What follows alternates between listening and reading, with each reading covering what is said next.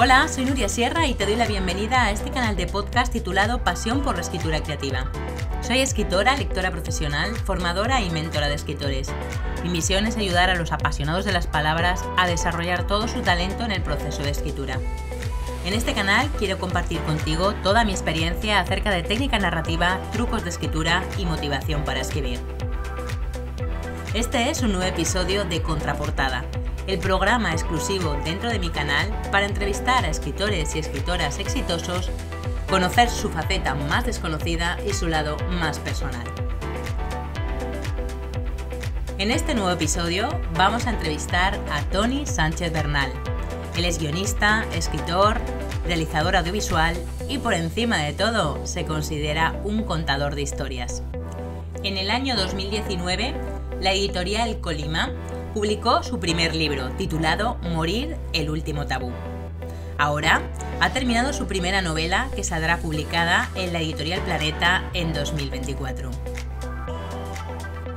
Antes de ir al contenido de la entrevista, me encantará que te suscribas al canal allá donde lo estés escuchando, ya sea en iVoox, Spotify, Google Podcast o Apple Podcast. También te invito a que te suscribas a mi newsletter en uriasierra.com y a que te descargues los recursos gratuitos que allí encontrarás para aplicar a tu escritura.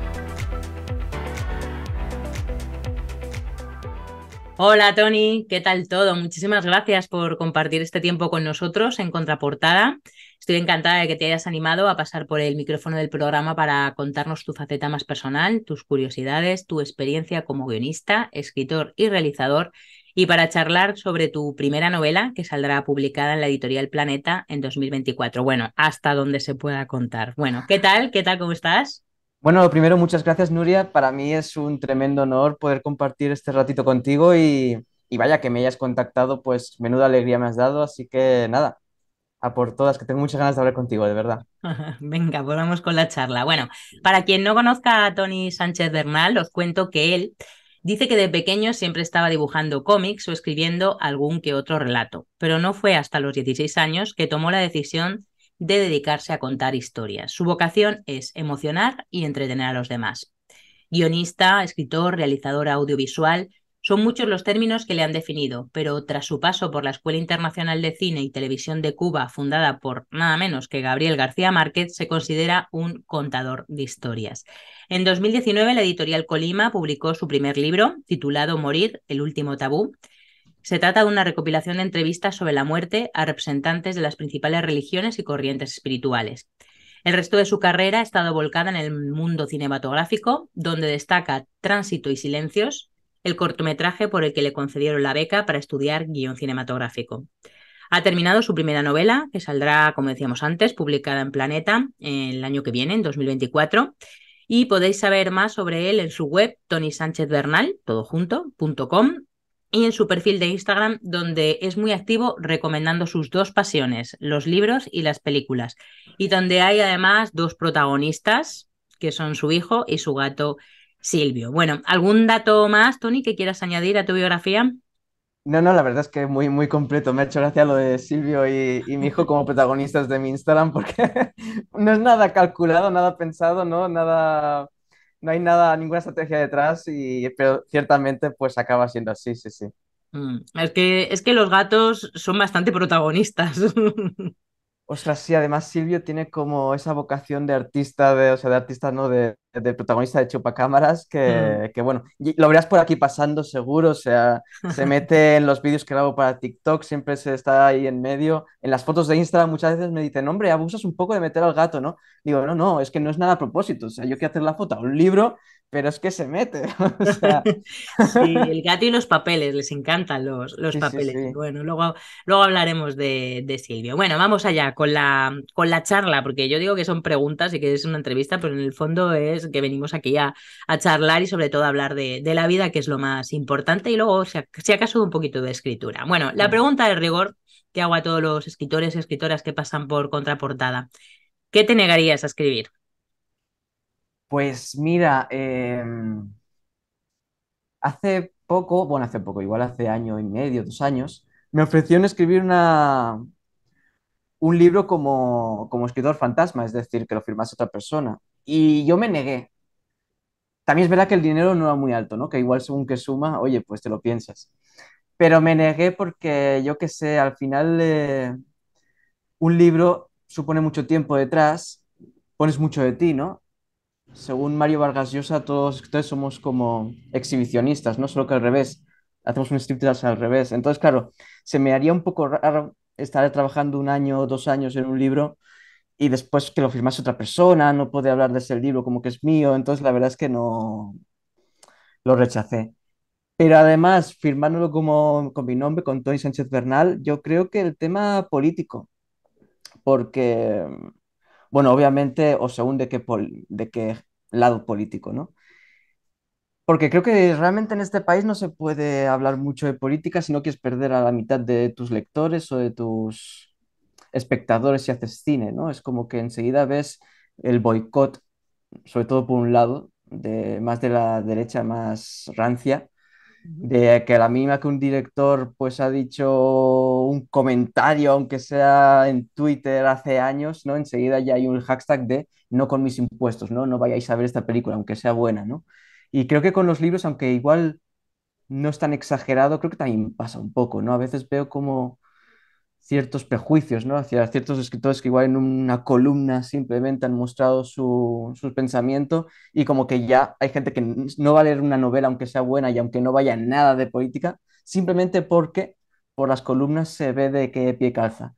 Y yo de momento no siento esa llamada. Igual la siento, ¿eh? Mañana mismo, o sea que no, nadie sabe, nadie puede decir que de esta agua no beberé, pero Javier Cercas, por ejemplo, dice, ¿no? Que él nunca se quería mojar en política, pero cuando pasó todo lo del secesionismo en Cataluña, pues bueno, pues como que le, le hirvió la sangre y se lanzó, ¿no? Pero yo de momento no, no ha habido nada tan, tan fuerte, entonces yo de momento tema político no lo tocaría, la verdad. Ujú. Otra cosa es que en mis novelas no se respire, no se vea cierta crítica o cierto pensar, ¿no? Eso es otra cosa. Pero así abiertamente, de, oye, biografía de tal político, un ensayo político sobre por qué tal cosa, yo de momento no, no lo vería.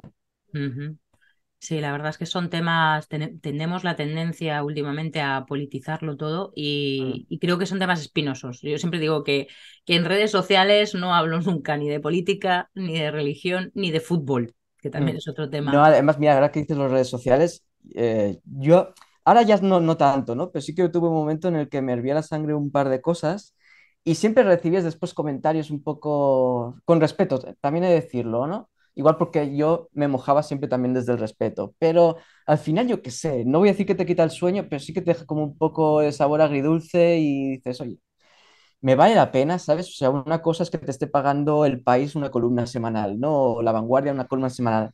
Pero al final lo que son redes sociales, que es hobby, al fin, pues oye, pues al fin, a veces no se da cuenta, ¿no? Mm, Sí, sí, sí.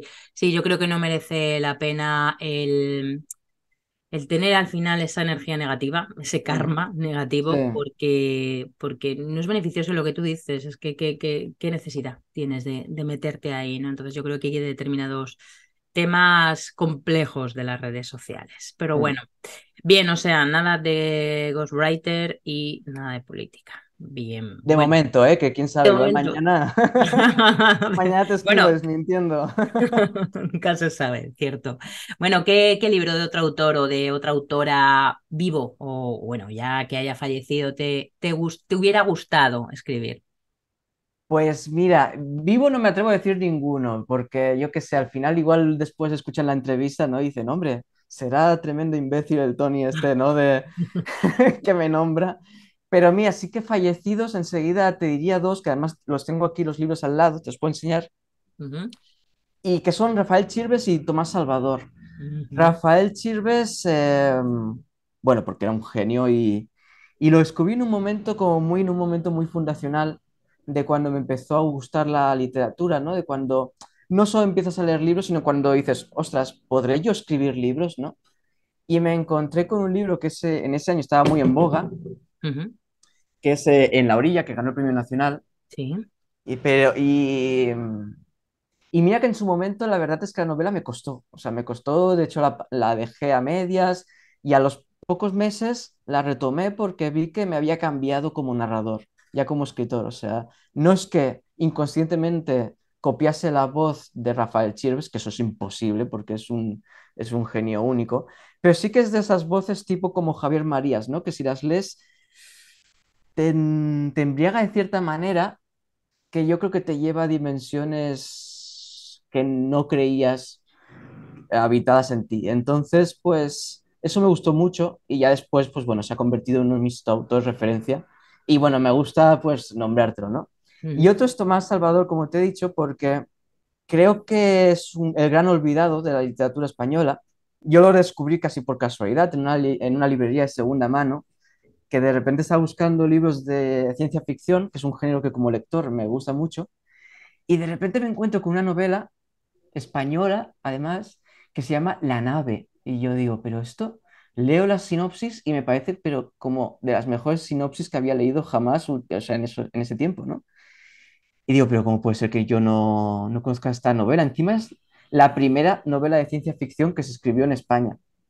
Tanto es así que hay un prólogo en el que el mismo autor explica qué es eso de la ciencia ficción, ¿no? O sea, imagínate. Creo que es de los años 60, eh, la novela, me puedo equivocar, pero es de los años 60. Y es de un escritor, Tomás Salvador, que ganó el Premio Planeta en 1960 con el atentado. Pero ¿qué pasa? ¿Por qué hoy en día no se le, no se le reconoce y ni no se le conoce? No nos engañemos. Porque era policía. Entonces, claro, pues en esa época, ¿no? Policía franquista, pues ya te puedes imaginar. Pues eh, claro, lo que pasa es que la gente se olvida de que, hombre, es que era policía franquista, Tomás Salvador, totalmente, claro. Eh, pero también es que cualquier oficio era franquista, ¿no? Porque al final era la, era la época, por desgracia. Y de hecho yo soy el primero que te, te, te confieso que desde los prejuicios de ser de sensibilidad progresista, pues claro, yo también, ¿no? Cuando me encontré este libro de la nave fue como, no, espera, Tony, no puedes leer una novela que haya escrito un policía franquista, ¿sabes? O sea, válgame Dios.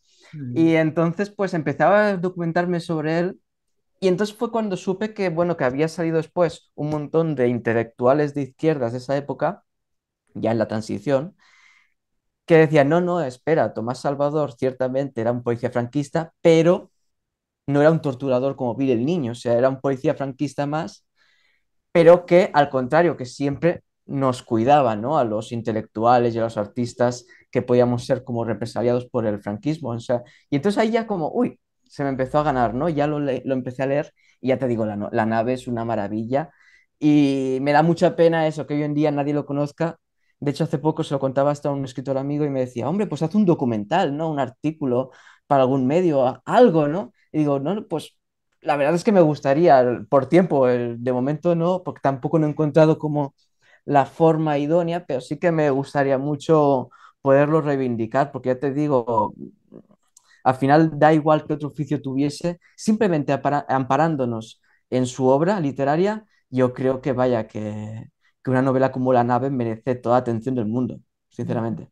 Sí, Sí, tenemos esa, esa idea, ¿no? Eh, también explotada mucho en los últimos años de, de, bueno, es que era de este bando, era de este otro bando, o hacía no sé qué, o hacía no sé cuántos, y entonces no podemos leer a Enid Blyton porque resulta que era pro-nazi y no puede...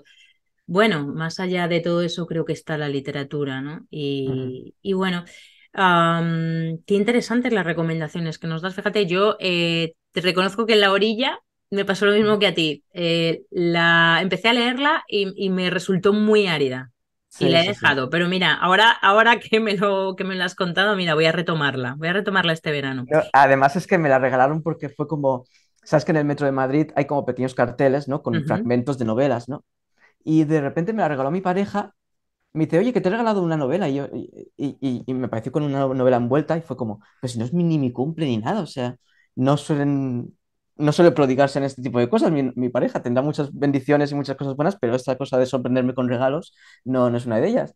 Y de repente digo, me quedé, ¿no? Abro el paquete y veo en la orilla Rafael Chirves, digo, pero este señor, ¿quién es? Esta novela, ¿quién es? ¿Por qué me la ha regalado? No es que leí un fragmento en el metro y pensé, esto le gusta a Tony. Y la empecé y digo, pero ¿por qué? O sea, ¿qué te ha dado a pensar esto? Y digo, de hecho ya te digo, se quedó parada en mi estantería pues durante varios meses, pero cuando vi que me había afectado ya no solo la voz narrativa, sino una sensibilidad, ¿no? Una búsqueda de temas, una búsqueda de personajes, una... Me había abierto la mente como autor.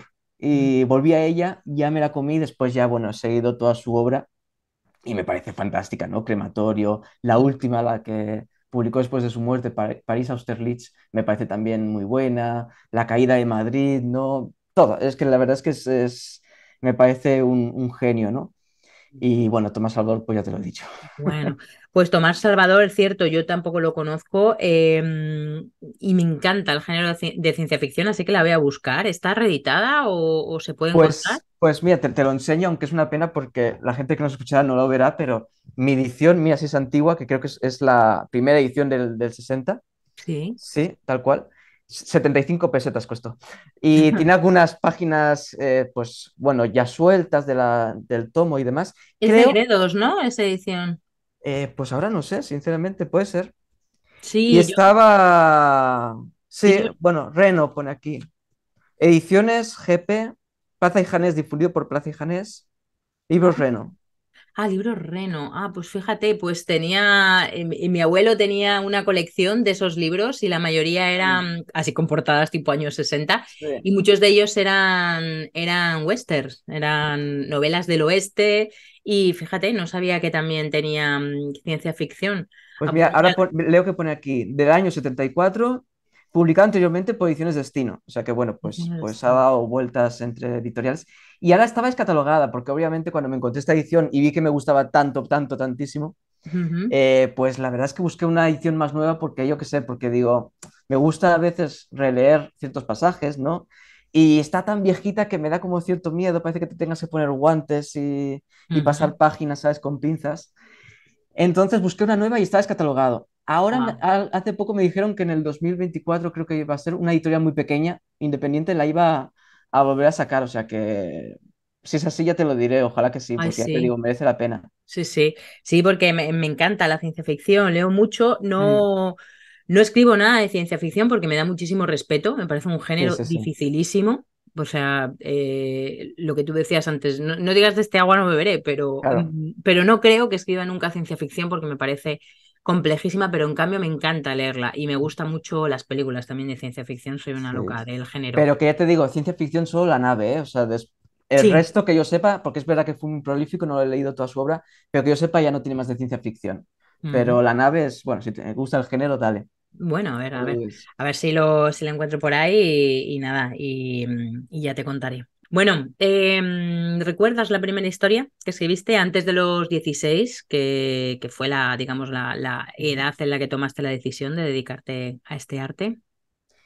Pues yo de pequeño dibujaba muchos cómics, o sea que seguro que era algún cómic del Goku. Y si no era del Goku, pues tenían caras del Goku, o sea que, eh, claro, pues de ese tipo de historias, ¿no? Del villano que viene a destruir el planeta y demás. Sí que recuerdo un cómic que era tipo comedia romántica de historias del instituto, esto ya más en primero de la ESO, em, más tipo así Mermelada Boy, que era un cómic que le gustaba mucho a mi hermana y que yo pues también me leí, claro, porque estaban ahí en la estantería. Y después también la primera novela que, bueno, antes de eso, escribí varios relatos breves que ganaron algún que otro premio o en el instituto quedaron segundo, tercero, ¿no? En el típico festival de San Jordi, porque soy de Tarragona, de Cataluña, y tiene mucha importancia ahí en San Jordi, ¿no? El típico festival de instituto. Y recuerdo dos, precisamente, dos que además los encontré el verano pasado cuando fui a casa de mis padres y me hizo mucha ilusión. Eh, uno era algo muy raro, que era de un jersey hablador, porque yo tenía una historia en primero de eso, ¿no? De que odiaba mucho un jersey de cuello vuelto. Y lo ideaba mucho, pero me lo ponía, porque yo qué sé, pues en aquella época al final te tienes que poner lo que hay en el armario, ¿no? Y cuando hacía mucho frío, pues eh, ponte el, el, jersey ese que abriga mucho, Tony. Y yo me lo ponía muy obedientemente, pero lo odiaba con todas mis fuerzas, me picaba el cuello, lo pasaba muy mal, sentía que me asfixiaba. Y uno de los relatos iba de eso, de un jersey que hablaba al chico que lo llevaba y le ayudaba a ligarse a la chica de clase. O sea, mira tú qué relato breve más, más raro, ¿no? Y después otro que creo que escribí al, día, al, al año siguiente, que era de ciencia ficción, de un tipo que estaba encerrado como una cárcel, tipo como la ópera prima de George Lucas, y se fugaba. Y entonces luchaba contra un robot humanoide y ese tipo de cosas. Nada, es un relato breve, creo que tres páginas y media, ¿eh? más o menos. Pero, pero me hizo mucha ilusión reencontrarlos en mi casa, ¿no? Y bueno, obviamente ya no eres el Tony que escribía eso, solo, menos mal, Pero, pero te hace gracia, ¿no? Porque ya ves cier- cierta búsqueda de, yo qué sé, o cierta tendencia a algunas palabras o según qué cadencias, y eso, eso te hace ilusión, ¿no? Sí. Como redescubrir a ese, a ese que fuiste, a ese adolescente. Sí, sobre todo esa, esa tendencia ya desde niño a, a contar historias, que es al final lo Sí, que... es que al final es eso, ¿no? Porque yo recuerdo después ya eh, más entrada en la adolescencia, así que intenté escribir una novelita, pero nada, se quedó, yo creo que las 30 páginas la, la abandoné, que era algo muy de, de terror de muy Stephen King, de, de un escritor que se iba a la cabaña de un bosque, intentaba matarse, se, la- se había divorciado, ya ves que sabía yo de divorciarse, de intentarse suicidar, nada. Pero bueno, pero ya, ya te digo, no pasé de la página 30 y creo que con suerte. Pero bueno, después ya a los 16 años eh, descubrí el cine, me lancé a hacer mis primeros cortometrajes y ahí sí que yo creo que fue como el gran momento de, en el que Tony Sánchez pues descubrió que le iba, que no. Eh, me hice más selectivo, ¿no? También al poner, creo que algo importante fue poner los pies en el suelo, ¿no? De, oye, voy a contar una historia, ¿no? Pero ya no es como solo para ti, ves que va a llegar a más personas, ¿no? Y entonces pues ya empiezas a ser más selectivo, ¿no? De qué cosas contar, qué cosas no contar, cómo contarlo. Y eso me gustó mucho. La verdad que fueron años muy, muy prolíficos y muy, muy chulos. Ahora los recuerdo con mucho cariño.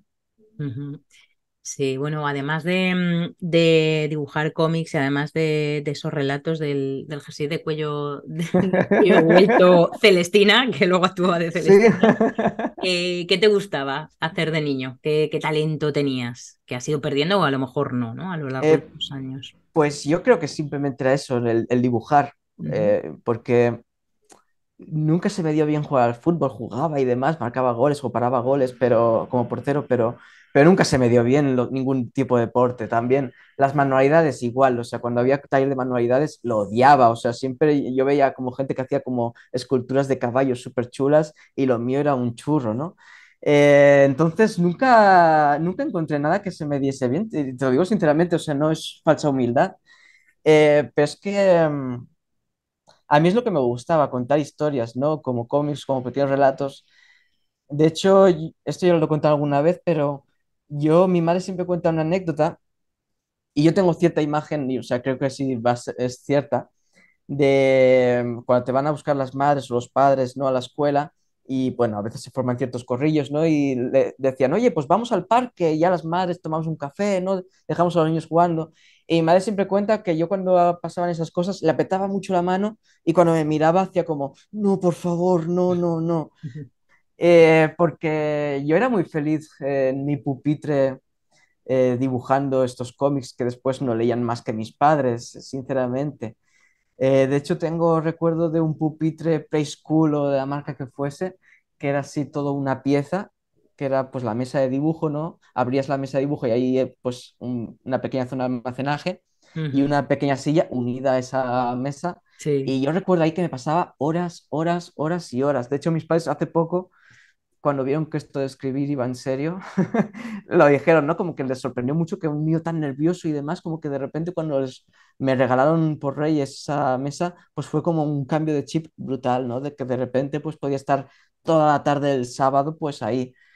Y entonces eso no quiere decir que nunca pidiese yo a mis padres, oye, sácame al parque y demás, pero no, no, no, creo que ya, creo, sinceramente, de, de verdad, con la mano en el pecho, que ya he ido más veces al parque como padre ahora que como usuario de columpios y toboganes, sinceramente.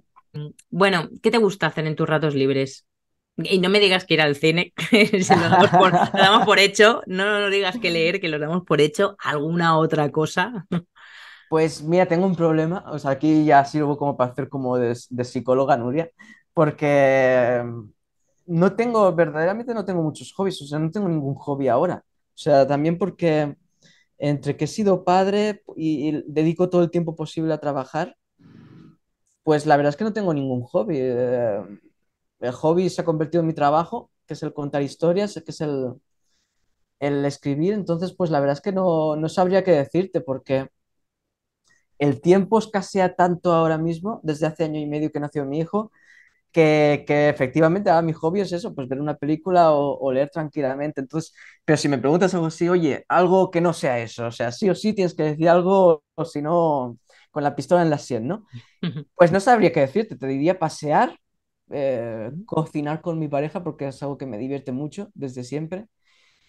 Pero ya está, sinceramente es que no tengo nada, no tengo, no tengo, no practico ningún deporte y eso es algo malo porque sí que cuando vivía en Cuba iba a correr y, notaba como muy buenos beneficios eh, Murakami ha escrito sobre eso, ¿no? Javier Cercas también defiende el ir a correr, pero yo por ahora mismo la verdad es que no me, me, me mata. la, simple, la simple idea de salirme a correr me, me, daría pavor. Y entonces es que no tengo ningún hobby. Y no, no es que...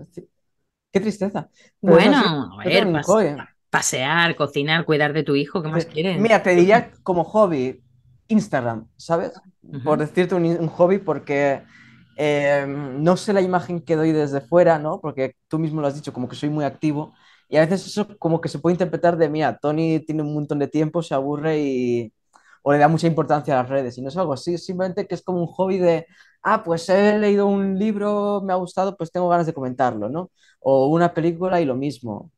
Me imagino que esto le pasa a más escritores, pero, pero hablo de mi caso. Paso, me paso muchas horas solo. Eh, sinceramente me paso muchas horas solo y a veces me doy cuenta de que pasa el día, acaba el día y he hablado con mi pareja y con mi hijo, pues lo que se puede hablar con un niño de año y medio. Entonces es casi como una botella en la que pongo un mensaje, ¿no? Las redes sociales y la lanzo al océano. Es como un modo de interactuar con personas. Entonces sí que, mira, te, te podría decir que mi hobby se ha convertido en eso. Instagram se ha convertido en mi hobby en el sentido de que, oye, pues tengo 20 minutos libres y me apetece hablar del libro que terminé ayer, pues lo hago, ¿sabes? Y, me lo paso bien también. Me da la posibilidad de conocer y contactar con personas como tú, ¿sabes? Gente bonita que también comparte desde un territorio de amor, respeto y, y afición hacia la cultura, ¿sabes? Que al final yo creo que eso es lo, lo chulo, porque yo eso no lo tengo en mi entorno. No tengo amigos que escriban, no tengo amigos que lean. Entonces, claro, termino un libro y no puedo hablar con nadie, con absolutamente nadie. Y si veo una película, lo mismo, me dicen, no, no hables nada porque igual la veo dentro de un año y no quiero que me hagas spoiler.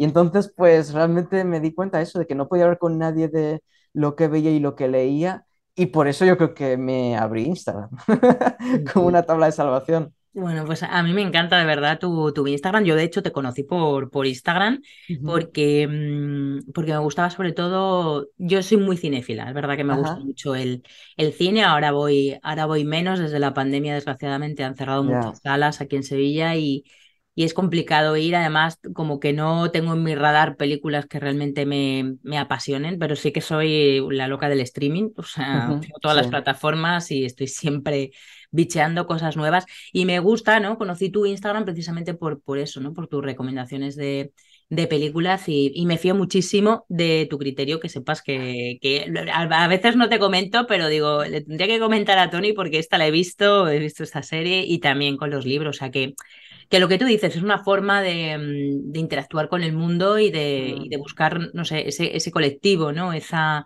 ese mm, club, digamos, esa, esa gente que está cerca de ti y que también le apasiona lo que, lo que tú haces. Así que nada, yo te animo a que sigas porque de verdad que a mí desde luego me encanta. Y, pues todas tus recomendaciones, algunas me las apunto y digo, uy, esta, vez tengo que verla.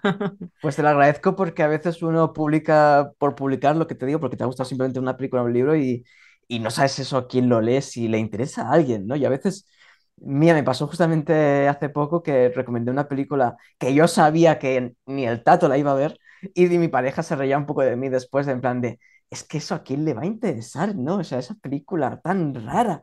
Y digo, pues ya, ya lo sé, pero yo qué sé. A veces sí que después te escribe alguien, ¿no? Y te dice, oye, pues esta película la vi con, con mi pareja y me gustó. Oye, esta la vi por casualidad porque lo dijiste y le gustó, ¿no? Hace poco también recomendé una de Mastroianni, que a mí me gusta mucho, una jornada particular, que para mí es un, qué cosa para mí es un 10, o sea, para mí es un, 10 de película, me, me, mm. me fascina.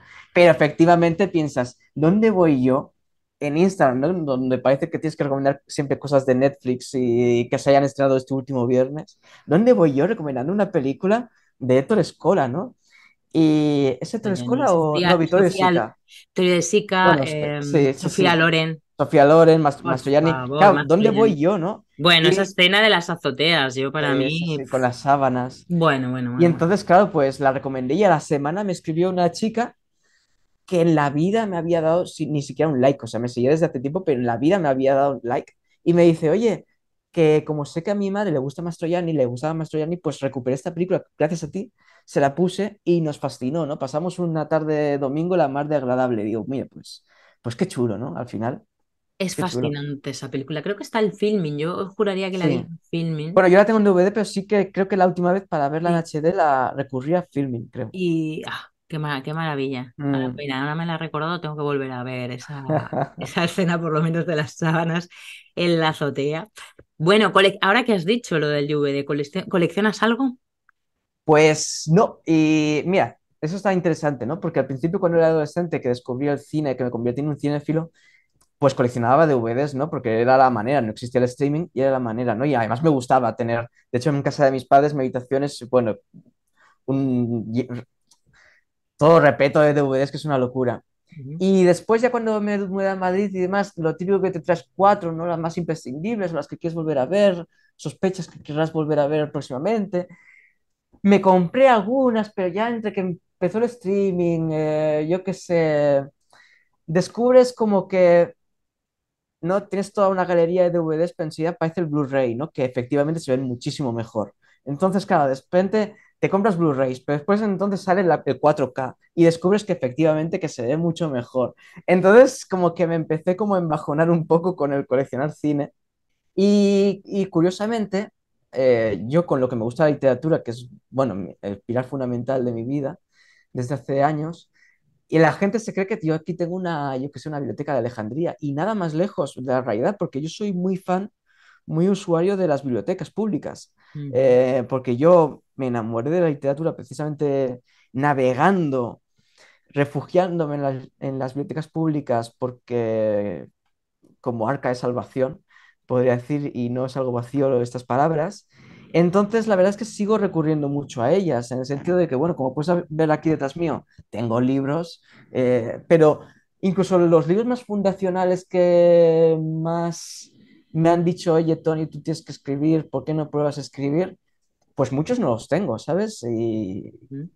Pero por eso, porque soy un gran usuario de las bibliotecas públicas, un gran defensor de las bibliotecas públicas, y de hecho me da mucha pena ver que no voy a decir que se están perdiendo, pero sí como que la gente que se declara amante de, la literatura, pues no acude a las bibliotecas públicas, no se cuidan las bibliotecas públicas, ¿no? Y a veces acudes a bibliotecas públicas y ves que casi que son centros destinados a que los estudiantes estudien el examen de la carrera, ¿no? Pero ya está.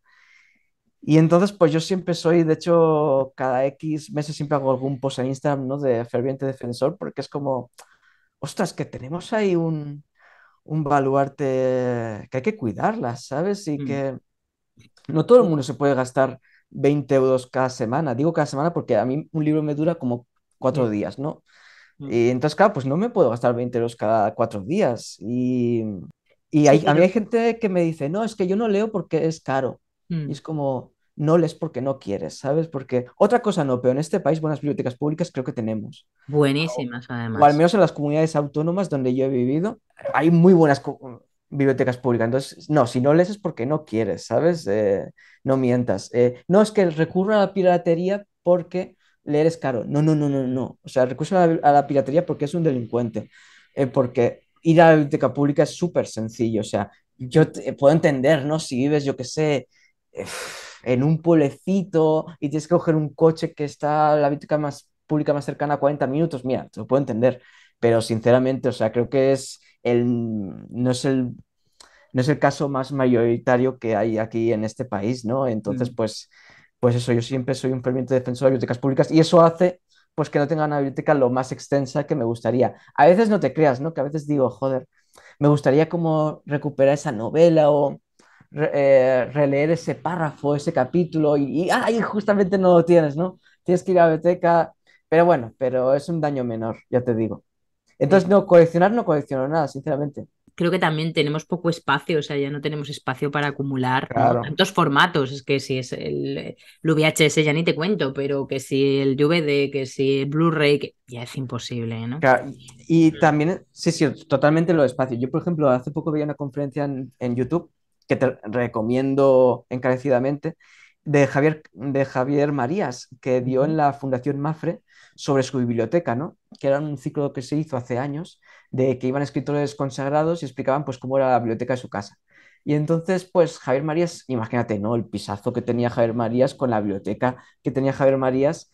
Y tanto es así que los operarios de la estantería nueva que se compró, ¿no? Cuando se fueron a colocársela, le dijeron, oye, si nos dejas hacer una foto y ponerla en el catálogo, te reducimos el precio, ¿no? Y Javier Marías dijo, ah, pues sí, claro. Claro, o sea, yo veo esas fotos y se me cae la baba de la envidia, ¿no? Veo también la biblioteca de Reverte, ¿no? De Arturo Pérez Reverte, y que dice que tiene como 150.000 ejemplares y, me muero de la envidia. ya, Pero primero por mi piso, por las condiciones en las que vivo, pues ahora no es posible tener esa, esa colección, ¿no? Y respecto a los DVDs, lo que te decía también es que yo qué sé, primero que queda caduco enseguida, ¿no? Por la calidad de imagen y demás. Y después también me gusta un poco, como alguien que vive de alquiler y que se ha mudado varias veces, como un poco la ecología en el día a día, ¿no? Ecología en el sentido de lo material que no necesitamos. Oye, pues igual si se me antoja ver una película, pues la busco expresamente, ¿no? En, en las bibliotecas. O si se me antoja mucho, muchísimo, me la compro, no me malinterpretes. Pero, pero creo que esas cosas de coleccionar por, por- por coleccionar, ¿no? De, es que tengo un arca de mil DVDs, pero no he visto la mitad de los DVDs, también me parece un poco absurdo, ¿no? Ese coleccionar por coleccionar. Mm. Sí, creo que ya, ya, Respetando siempre todo, ¿eh? Ya no hay, ya no hay espacio para, para tantísimo formato. No, claro. Bueno, mm, si tuvieras que elegir entre la literatura y el cine, ¿con cuál te quedarías? ¿O son dos amantes ya totalmente irre- irrenunciables? Eh, igual me quedaría un poco más con la literatura, eh, pero a ver, que esto no se malinterprete, simplemente que el cine pues también te reporta muchas frustraciones, no mucho dolor, al menos a mí en mi, vida privada, ¿no? Porque es muy difícil levantar proyectos de, cine, entonces como que me ha reportado mucho dolor y la literatura me sirvió en un momento dado, no como válvula de escape, porque la literatura ya estaba ahí pero sí como hogar, ¿no? Encontré como que de repente los libros me dialogaban de una manera que no encontraba en el cine, en las películas. Em, también a la hora de contar historias encuentro que, que no es el mismo Tony el que vierte cierta, cierto sentimiento, cierto pensar en una novela que el que, lo el, que, el que vierto en, en un guion de largometraje, ¿no? O en un cortometraje. Entonces, como que de repente he encontrado un hogar en la literatura desde hace años ya y me siento tan a gusto en este mundo que la verdad es que gustándome el cine mucho, muchísimo y siendo un gran cinéfilo y, y habiendo hecho cine, si tuviese que quedarme con una sola, igual con la literatura, pero vaya, que creo que tener que escoger entre las dos sería como, ¿qué escoges, no? ¿Mamá o papá? Es, es como cruel. Es como que no tienes por qué quedarte con una. Es como la gente un poco friki de la ciencia ficción, ¿no? Que a veces nos preguntan, ¿pero qué prefieres, Star Wars o Star Trek? Y, y dices, pues yo disfruto ambas. O sea, la Ya. verdad es que me gusta, me gustan las dos, las dos sagas. Entonces, eh, ¿por qué tengo que escoger, no? Puedo ver ambas. Entonces Mm. me parece, me, me pasa un poco lo mismo, ¿no? Sí, creo que son dos, dos formas de contar historias diferentes, pero al, al final es lo mismo, es contar Sí, sí, historias, ¿no? sí, en sí, el de hecho eso, es- eso es tremendo, eso es- lo que dices es tremendamente interesante, ¿no? Porque efectivamente son maneras muy diferentes de contar historias. De Mm, hecho, a mí me decepciona un poco de la literatura más contemporánea, no toda, ¿eh? Por, por suerte, pero sí de muchos libros que ves que son solo novelizaciones de series y películas que el escritor no ha podido hacer, ¿no? Y como que ves cierta huella de que el escritor hace esa novela porque no puede hacer una película o una serie, y casi que lo, que lo único que espera de ese libro no es emocionar o entretener, contar una historia, sino que le compren los derechos de adaptación. Ya. Y que la novela es prácticamente un guion novelizado. Y a mí esas cosas me decepcionan, ¿no? Porque porque, ostras, porque son dos lenguajes distintos. claro, o sea, si quieres hacer una serie es muy lícito, pero haz una serie, o sea, es- escribe el guion de una serie, levanta el proyecto o intenta levantarlo, pero no, es, no sé, como que notas eso, ¿no? Que son meras novelizaciones y, y me da mucha rabia, me da mucha rabia. Mm, Eh, por suerte ambos medios, ¿verdad? Que dialogan muy bien, ¿no? En el sentido de que, por ejemplo, la gente, ahora las series, ¿no? Que están tan en boga, ¿no? Yo creo que incluso por encima de los, de los largometrajes. Y te das cuenta del por qué, ¿no? Porque las series se usan la estructura de las novelas antiguas. Entonces, claro, es como, por eso te llama la atención tanto una serie, porque utiliza las herramientas de la novela antigua, ¿no? El creador de The Wire, que es una de las grandes series de la historia y quizá la mejor de todas, mm, lo dice, ¿no? Que él, cuando escribía los guiones, él estaba escribiendo una novela policíaca con lenguaje de guion, ¿no? Pero en cuanto a estructura y en cuanto a descripción de personajes y todo, y todo era una novela. Y efectivamente, ves la, la serie y así es, ¿no? Entonces eso también está muy interesante, ¿no? El ver cómo dialogan, ¿no? También el uso de los cliffhangers en la literatura, ¿no? Ves que, hombre, que descaradamente son de serie, de serie. Y está bien, ¿eh? O sea, porque al final hay que atrapar al lector y es obvio que te, ahora como escritores, eh, novelistas, pues estamos luchando contra la atención del streaming, de los videojuegos, o sea que hay que cap- captar la atención, ¿no?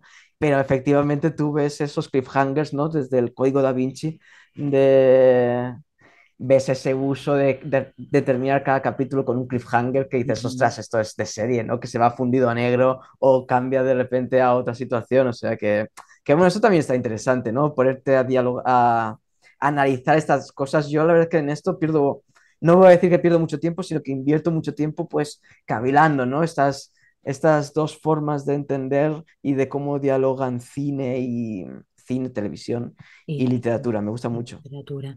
Bueno, mm, te voy a poner en un brete ahora. Eh, una única película favorita que tuvieras que eh, salvar del mundo mundial. Una. ay, lo te- mira, lo, lo tengo claro, El secreto de sus ojos. El secreto de sus Ah, ojos vale. de, de Campanella. Sí. En verdad, la, la- la- esta suerte de tetralogía que tiene Campanella con Darín me parecen las cuatro unos peliculones eh, imprescindibles. Pero Mm, es cierto que si tuviese que quedarme con alguna, es, sería esa, ¿no? Con El secreto de sus ojos. La veo una vez al año, siempre tengo como esa cita con, con ella. sí. Y es que siempre descubro algo distinto. Eh, Es una película para mí excelente, excelente tanto artística como técnicamente. En- es que es perfecta, ¿no? Eh, estas cosas, aquí ya empiezo como eso, estas cosas que solo ves cuando la llevas vista 20 veces, ¿no? Pero, por ejemplo, hay una escena en la que pa- están en el despacho, él y ella, y se nota cierto feeling, ¿no? Pues en la conversación, el diálogo es simplemente profesional. Y hay una rosa en un jarrón del, del escritorio de ella, que el plano se mueve y entonces se sitúa la rosa justamente en la americana de Darín, como si fuese en la solapa, ¿sabes? El típico galán con, antiguo con la flor aquí en la solapa de la americana. Pero porque entra dispuesto en esta escena pues a pedirle una cita a la chica y todo. Pero en medio del diálogo como que se da a entender que ya Darín no le va a pedir la cita a la chica, que la chica además le dice que se va a casar, algo así, creo recordar. Y entonces el plano siguiente, si te das cuenta, la rosa ya está movida y ya no está en la americana. Ah, Claro, esto, esto no es baladí, o sea, esto es, es algo muy hecho a propósito, ¿no? Porque además eh, tú ves que está exquisitamente bien rodada esta película, o sea, no es algo que dices, no, es que tenían prisa por rodar y rodaron al tuntún y fue la suerte. No, no, no, no, porque qué casualidad, ¿no? Que justamente cuando el diálogo cambia, se produce este, este cambio en la escenografía, ¿no? Entonces son este tipo de detalles que me hacen estar siempre alerta y después también esta cosa de conjugar también que sabe Darín en la tetralogía realmente, pero en esta en particular, ya que es lo que estamos hablando, de combinar drama y comedia y en esta encima añade suspense, ¿no? Que dices, pero ¿cómo haces esta barbaridad de, de película, ¿no? ¿Cómo la, la haces tan bien? Que puedes reír de repente en un diálogo, después al instante siguiente estás llorando y al instante siguiente hay un momento de intriga, un asesinato, ¿no? Y, y dices, pero ¿cómo puede ser? Eh, que haya tal genialidad en cada plano, en cada frase y en cada, en cada línea. O sea, es, es magistral, es, una- es excelente. Claro, porque aquí a tu pregunta lo fácil es decir El Padrino uno El Padrino dos ¿no? Que objetivamente son las mejores películas de la historia del, del cine. Pero a nivel después subjetivo, ¿no? Yo esto lo aprendí de la serie Dawson Crece, ya ves tú qué referencia, ¿no? Más Mm. intelectual que el personaje de Dawson quiere ser director de cine y hay un momento donde le preguntan, ¿cuál es tu película favorita, no? y no, no, recuerdo cuál dice, ¿no? Pero bueno, dice pues la típica, yo qué sé, el tercer hombre, eh, el acorazado Potemkin, ¿no? alguna así, muy conocida. Y le dice, no, no, no, no, ¿cuál es la mejor película para ti? ¿No? Es cuál es aquella que ves cada poco tiempo, siempre te, te sigue gustando y siempre te sigue emocionando. Y entonces dice, ah, vale, pues tiburón, ¿no? Y entonces, claro, pues yo ante esta pregunta siempre respondo claramente el secreto de sus ojos, porque me parece, ya te digo, una maravilla. Qué bueno, ha sido fácil. Entonces, bueno, tengo que volver sí, a verla sí, para ver la escena de la, de la rosa, sí. Pero así mucho, ¿eh? o sea, ya te digo, o sea, casi en cada escena, o sea, de hecho, así a modo friki te podría escribir un, un yo que sé, un libro de ensayo de por qué es, es, tan buena película, o sea, es que me parece brutal, realmente es brutal. Bueno, también cuenta con la baza de Darín, que es... Hombre. que es un Menudo, gran... claro, claro. Sí, sí, de hecho él, él, lo dice, ¿no? Que eh, en la preproducción, ¿no? Cuando decían, hombre, ¿qué hacemos? ¿No? Cogemos a un actor y lo, eh, lo, lo, hacemos más joven en los flashbacks o cogemos a un actor que, y lo envejecemos, ¿no? Y, y él decía, ostras, es que lo, lo, malo de tener a Darín, que finalmente lo envejecieron, ¿no? Uh -huh. eh, en, es que estaba estupendo el tipo en cada una de las situaciones. O sea, da igual si lo pones joven, mayor e incluso andrajoso de que no se ha duchado. Es que está aún cada vez más sexy. Y es que verdad, es que realmente es un actor de estos es improbables, brutal. ¿no? Es brutal, es brutal.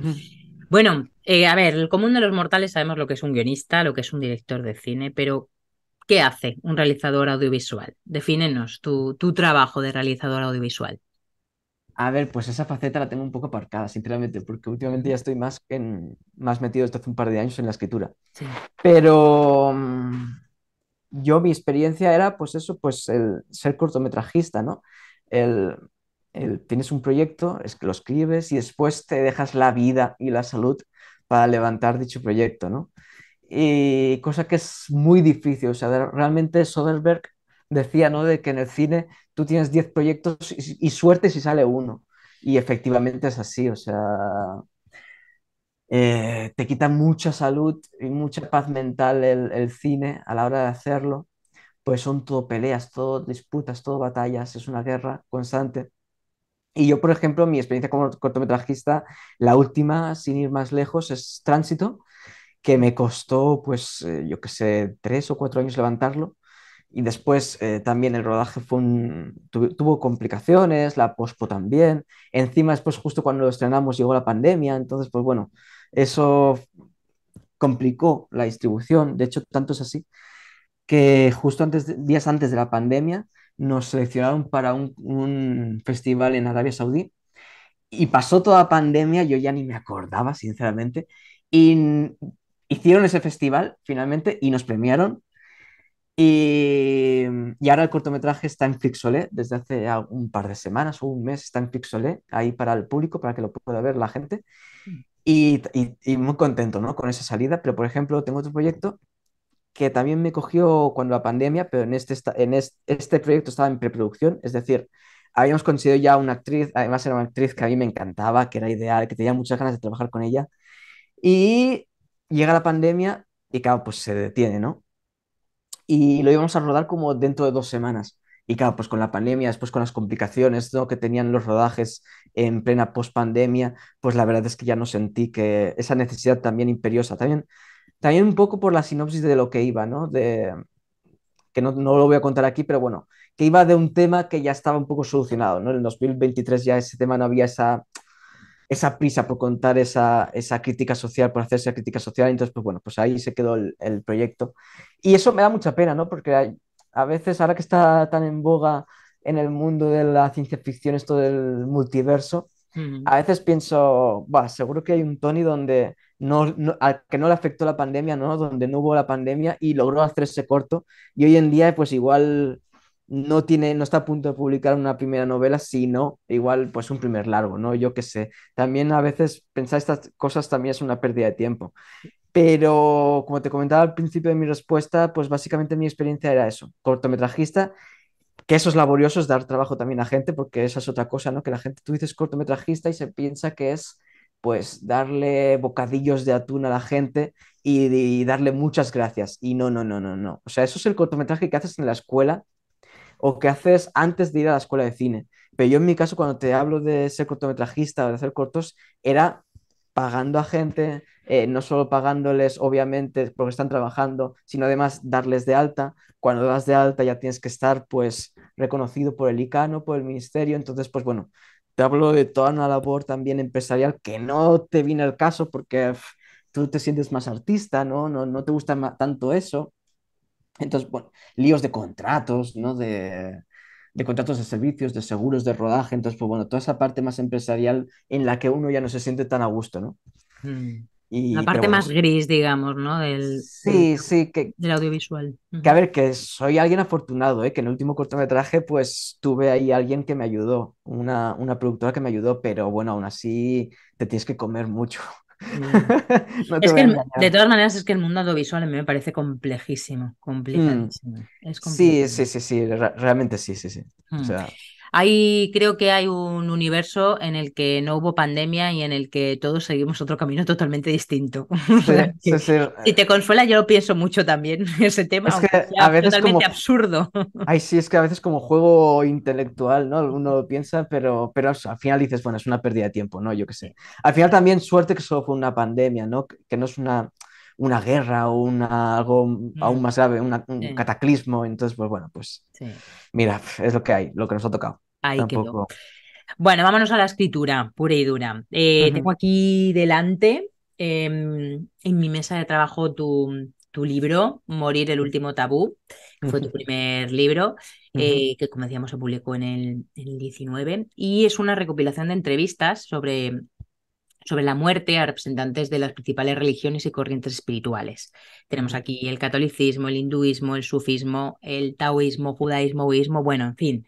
Eh, yo reconozco que me lo he papeado, literalmente. Cuando digo papeado, eh, los oyentes saben a qué me refiero porque lo digo mucho en, en mis contenidos, que, que me lo he, bueno, me lo he bebido en un fin de semana, me ha parecido súper divulgativo y aunque a priori es un tema el de la muerte que a mí no me apasiona especialmente, eh, sí me ha gustado muchísimo eh, en- entender desde el punto de vista de otras religiones eh, qué pasa en el, en el más allá, ¿no?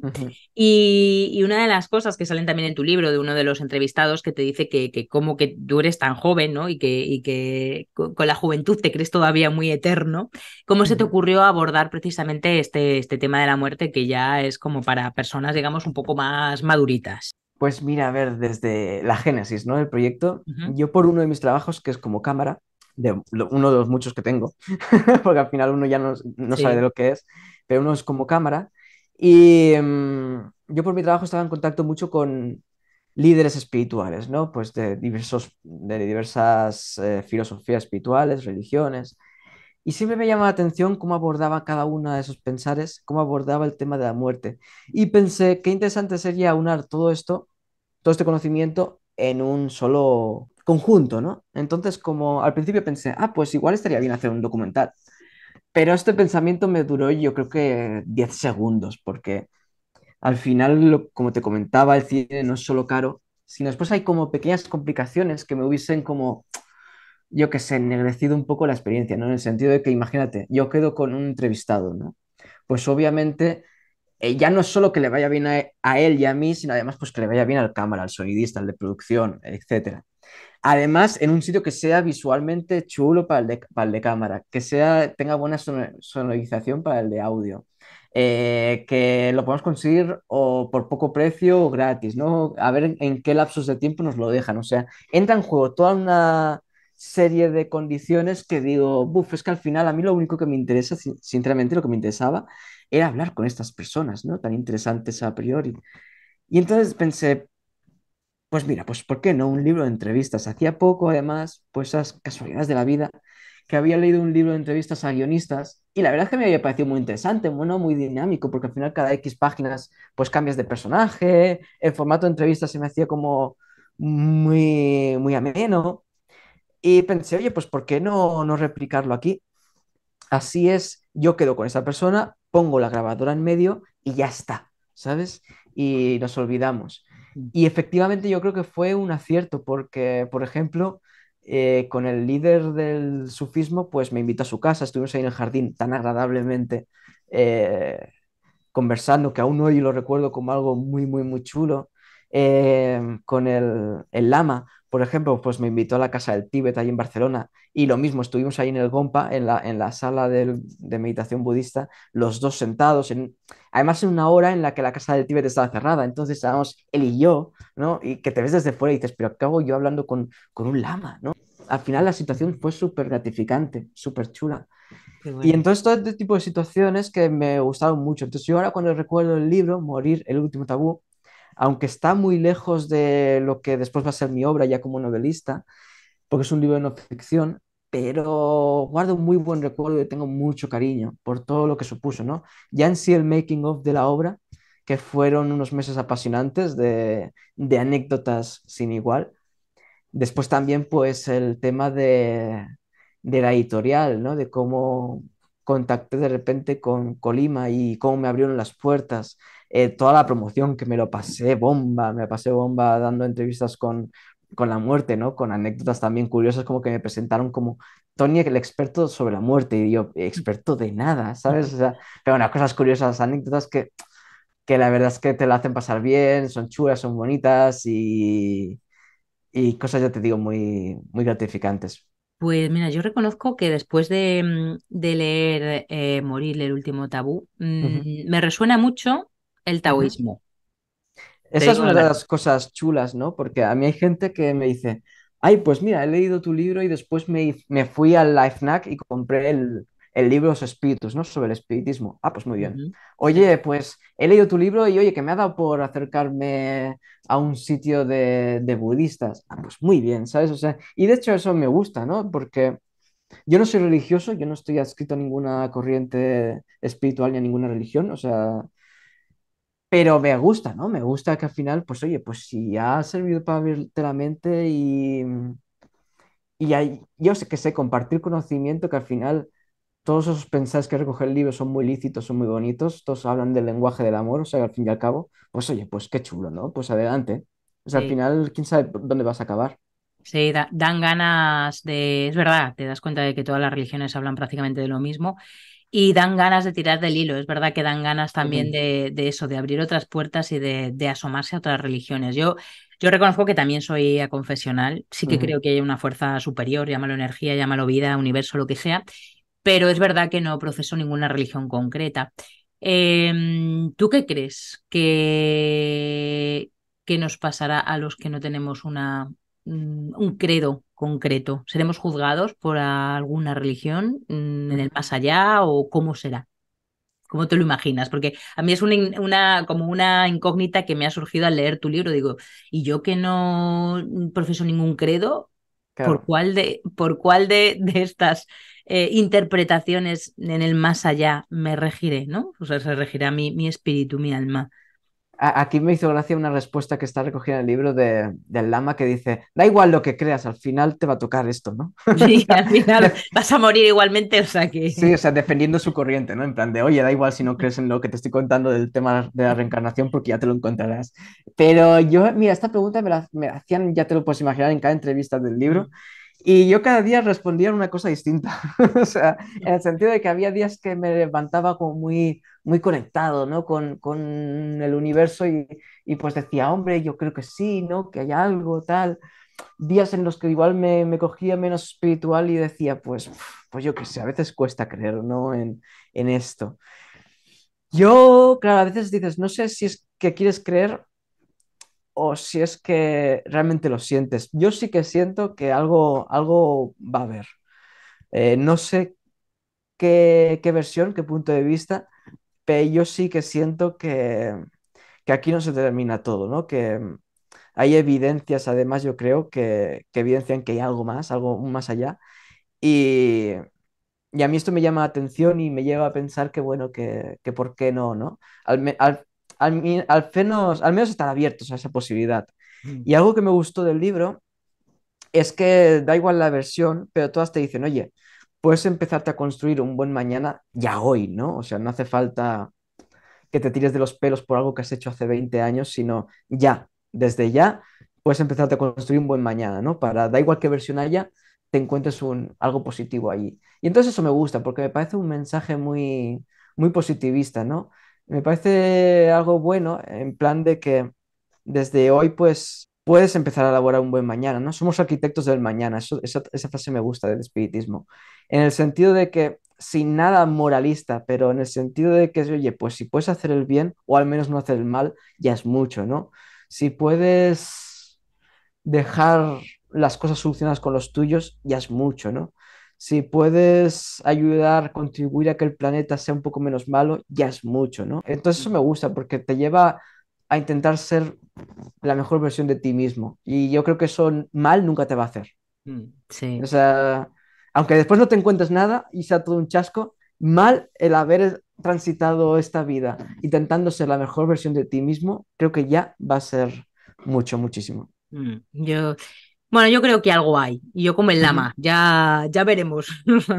Desde luego, algo nos vamos a encontrar. eh, vaya, este- vaya usted a saber qué, pero, pero, pero bueno, es muy interesante. La verdad es que me ha resultado un libro muy, muy interesante. Bueno, cuéntanos tu proceso creativo, tanto para escribir novela como en tu caso también para escribir guion. ¿Difiere? ¿Es similar? ¿Se aborda de forma distinta? ¿Cómo, cómo lo haces? ¿Cómo Ujú. dices? Wow, me ha surgido esta idea. ¿Cómo la pongo en pie? Pues eh, mira, es- esto algo que creo que es bueno, que es que soy como muy racional y entonces enseguida lo llevo todo, los, los pies los mantengo siempre en el suelo y enseguida lo bajo todo, todo a tierra, ¿no? Ya yo tenía una profesora de guion ahí en la escuela de Cuba que me lo decía, ¿no? Teníamos que escribir un guion por parejas y me junto con el más etéreo, el más, el más globo que estaba en los cielos. Y me dice, no, hacéis una buena pareja porque tú vas a coger ese globo y lo vas a bajar constantemente al suelo, ¿no? Y yo en ese momento como que me lo tomé un poco mal, ¿no? Porque era como, ¿qué me estás diciendo? Que no puedo soñar, que no puedo ser yo también aquí un, un viva la vida. Pero creo que es algo bueno para llevar los proyectos a buen término, ¿no? Esto no quiero que se me malinterprete. También de otra manera puedes llevar, llegar a buen puerto los proyectos. Pero creo que al final toca sentarse, ¿no? Toca sentarse y, oye, ¿cuál es la idea? Vale, pues voy a intentar escribir, esto me da para un storyline, vale. Eh, ¿quién es el protagonista de esta historia? Esto. Vale, ¿cuál es el conflicto de este protagonista? Vale, pues yo creo que esto, ¿no? Vale, eh, la estructura, ¿cuál sería? Entonces, esto yo sí, siempre me ha llevado mucho a ser muy, muy racional. Entonces, yo igual, porque vengo del guion, claro, en guion se, se destilan mucho los, los documentos menores, porque como a- igual ya tienes que presentarle enseguida la idea a un productor, no a un director, para que se implique en tu guion. Entonces, enseguida, pues el storyline, ¿no? El- la sinopsis, el tratamiento. Entonces, claro, ¿qué pasa? Que cuando intenté probar suerte en el mundo de la narrativa, pues yo seguí con mi método de, de guion, ¿no? Entonces, yo soy muy cuadriculado y hago mucho los documentos menores. eh, muy eso, el storyline, la escaleta. Entonces, claro, estas cosas, esta división, ¿no? Que te dicen, no, hombre, tú eres escritor de brújula de mapa, tremendamente de mapa. Otra cosa es que me de- no me deje ciertas sorpresas, ¿no? En el sentido de que si yo pongo el GPS para ir a- de Madrid a Barcelona, mm, aunque escoja ir o por poblaciones o por autopista, oye, pues si de repente me apetece pararme en la, en el- la estación de servicio y tomarme un café, pues me lo tomo, ¿no? Entonces mis escaletas eh, no son muy rígidas, aunque lo son, pero eh, un, un ejemplo, ¿no? Eh, imagínate, eh, en la escaleta igual hay un nudo de acción que puede decir, y el protagonista aquí ahora se encuentra a la chica, conversan, hay feeling, ya está, ¿no? Igual esa es la anotación de la escaleta. Y ya después, cuando me lanzo a la primera versión, pues ya veo, ¿no? Si, si es que se encuentra esa persona porque está trabajando en tal sitio, o si es algo casual, o cómo se dan cuenta, ¿no? Y cómo terminan conversando. Entonces, eso, en el sentido de que la estructura sí que soy bastante férreo, pero después los pequeños nudos, salvo los, obviamente, los giros principales que sí o sí tienen que acontecer, ¿no? Como este se muere, o este pasa tal cosa, o ocurre tal, tal acontecimiento, que sí que es- obviamente soy más férreo, sí hay cosas que me permiten un poco más de libertad, porque sé que cuando llegue ahí, como habré estado acompañando a los personajes, pues 100 páginas, 200 páginas, las que sean, encontraré eh, la forma idónea para, para encontrar eso. Y entonces yo soy eso, soy como muy cabal en los procesos creativos. eh, igual demasiado, pero es que es lo que, lo que a mí me sirve, sinceramente. Yo esa cosa te la habrás encontrado tú también, Nuria, de, de, escritores que dicen, no, yo igual no escribo en seis meses, pero de repente me siento y te saco diez páginas, ¿no? A las tres de la mañana. No, no, yo no, yo eso no, no, soy así, no soy así, yo me pongo mis horarios y de hecho, si por ejemplo, imagínate, a las 3 de la mañana me viene una idea, eh, pues no abro el ordenador, o sea, me lo anoto, pero ya al día siguiente, como si fuese un trabajo de oficina, cuando abro el portátil y demás, entonces lo, lo, lo llevo a cabo, ¿no? Pero intento eso, que sea un trabajo mm, con horario establecido al 100%, dentro de lo posible, obviamente. Mm, vale. Eres entonces metódico con GPS, podríamos decir. Sí, sí, sí, sí, no, muy, muy metódico, pero también es porque, porque fue el método de cuando empecé a escribir guiones ya en la escuela de cine, fue el método que yo encontré que a mí me servía pues para realmente poder escribir, ¿no? Porque esta cosa de tienes que presentar un guion, yo qué sé, dentro de X meses.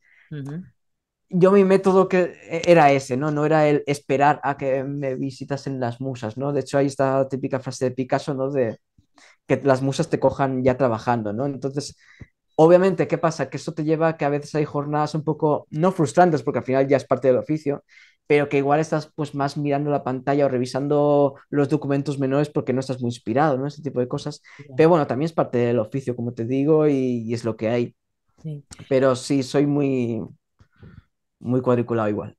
También es verdad que en un guion tienen que estar las cosas más atadas porque al final un guion Em, no, deja de ser un trabajo en equipo, que es lo que decíamos antes, ¿no? Es, un eh, lenguaje audiovisual que requiere de un montón de cosas más. Entonces no te puedes permitir salirte ni un pelo porque, claro, no es como una novela que da igual, da igual la ropa que lleven, la ambientación, que todo vale en la novela, pero claro, en un guion es más complicado porque tienes que, que, hacerlo luego posible con la cámara y luego posible en un escenario real. Claro, claro. Entonces, claro Igual, pues, eh, si en lugar de guion no, no hubiese venido el guion y ya me hubiese lanzado la novela, pero yo viniese pues de otro campo, pues igual escribiría muy distinto, ¿no? Mm. Y eso no es ni mejor ni peor, eso también lo quiero dejar claro, ¿no? Porque a veces parece como que entonces te quieres casar con un método de, de, escritura y te crees que los escritores que no escriben así como tú, en este caso de mapa, son malos, no, no, nada más lejos de la realidad. De hecho, hay grandes escritores que son de brújula, o sea, que, mm. que al final es simplemente este el método que a mí me sirve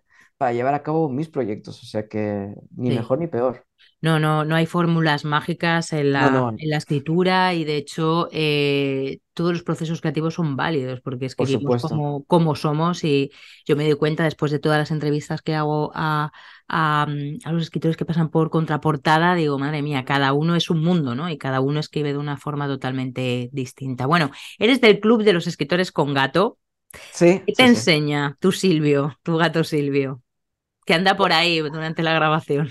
Sí, de hecho está justo detrás de la pantalla, o sea, de hecho está ahí, el, brazo, el brazo lo saca de vez en cuando y me, me intenta arañar el, el, portátil, o sea que estoy un poco con cuidado.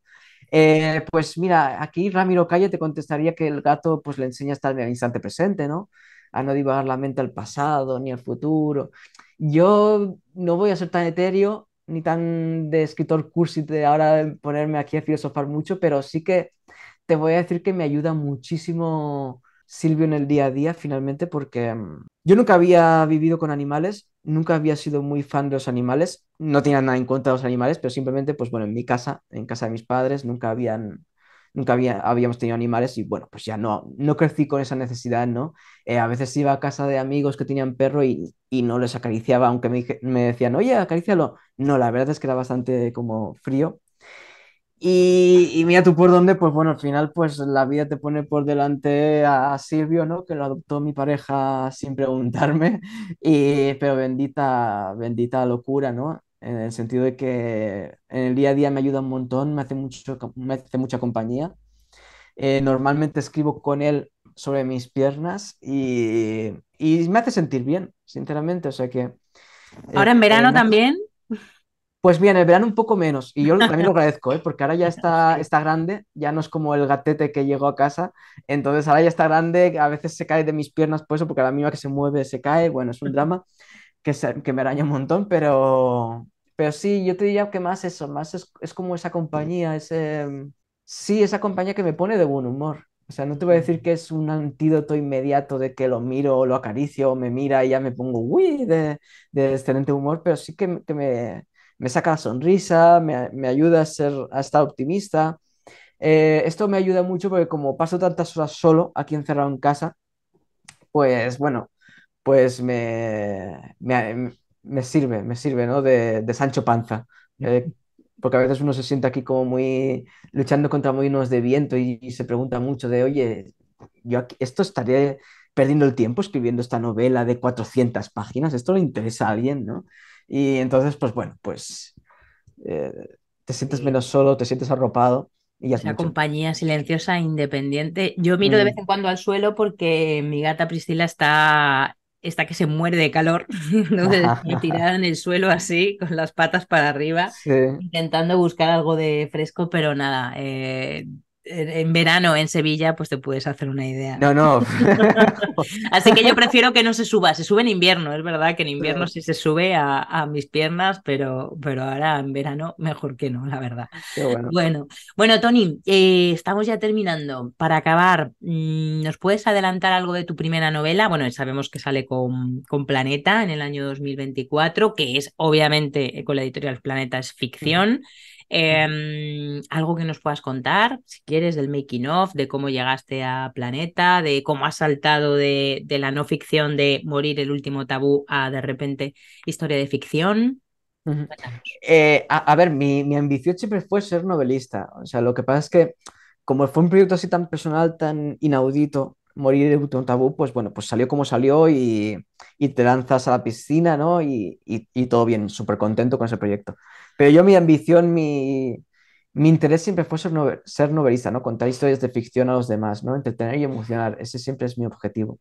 Eh, entonces, pues no te puedo contar gran cosa, la verdad, no te puedo contar nada porque igual me pillaría los dedos, entonces prefiero no, no decir ni sinopsis, ni título, ni nada, pero, pero bueno, es un proyecto en el que estoy embarcado, yo creo que incluso antes de morir el último tabú, o imagínate, lo que pasa es que, bueno, estuvo muchos años en el cajón, no por nada, ¿eh? Porque la verdad es que a el proyecto me encantaba, pero, pero bueno, eso como que, como escritor novel que tienes a veces como dos, tres manuscritos, ¿no?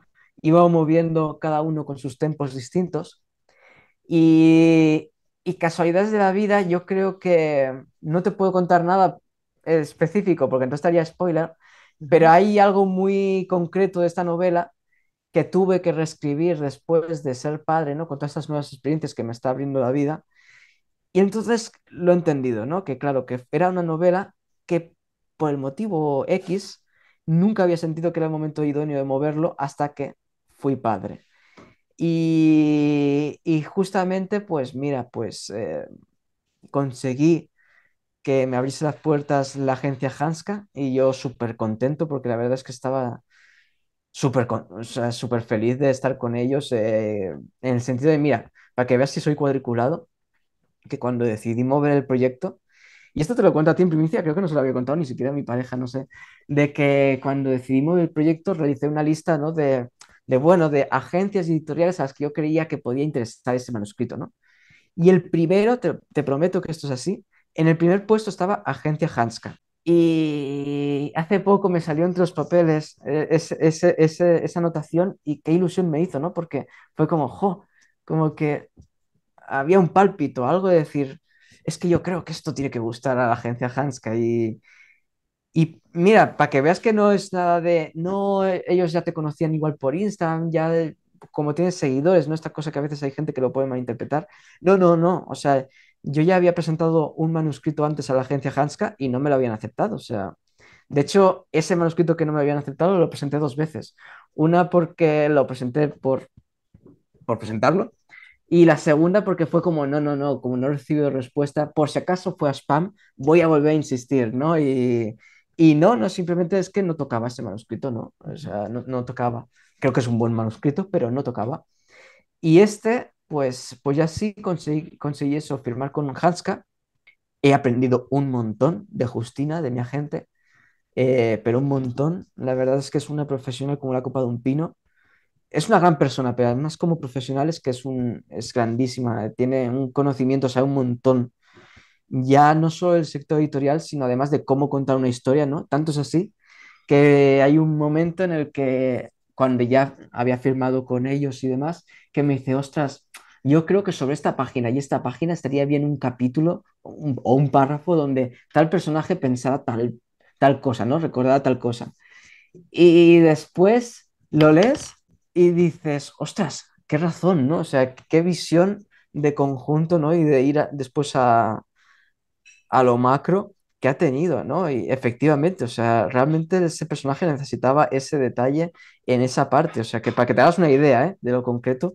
Y, y nada, después, pues imagínate cuando encima la novela interesa a la editorial Planeta, pues eh, te iba a decir, estoy cumpliendo un sueño, pero es que yo creo que ni un sueño, o sea, yo ni, en el mejor de los sueños me hubiese hubiese pensado que mi primera novela podía interesar al planeta, ¿no? Que se, vería la luz con planeta. Entonces, eh, estoy viviendo lo inimaginable.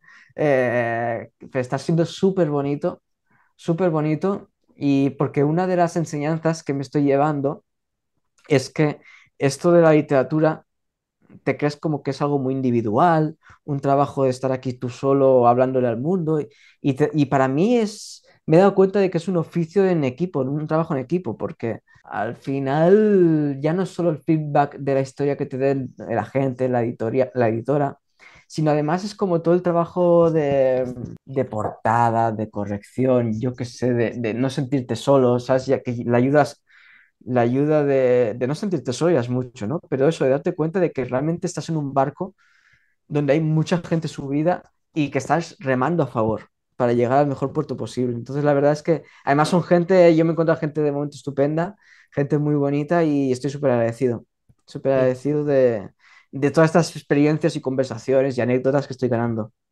Qué bien, yo me alegro un montón, de verdad, Tony, y, y estoy deseando leerte.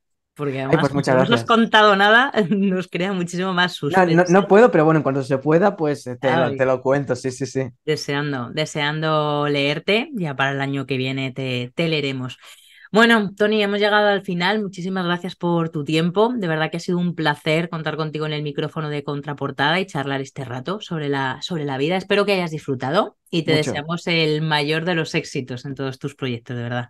Pues muchísimas gracias, Nuria. Para mí es un tremendo honor, porque cuando me comentaste, cuando me contactaste y me dijiste la lista de invitados, ¿no? De, de entrevistados, fue como, wow, o sea, qué, qué, qué tremendo honor que Nuria haya pensado en mí y haya y me dé este espacio, ¿no? Para conversar con ella. Así que nada, súper agradecido. Un placer enorme. Te seguimos en Instagram y ponte un abrazo enorme, de verdad. Muchísimas gracias.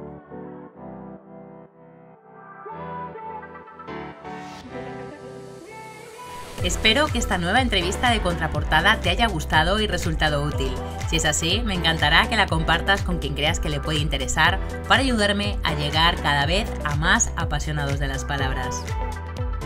Te invito de nuevo a que te suscribas al canal y también a mi newsletter en nuriasierra.com. Muchísimas gracias por escuchar este episodio y hasta el próximo.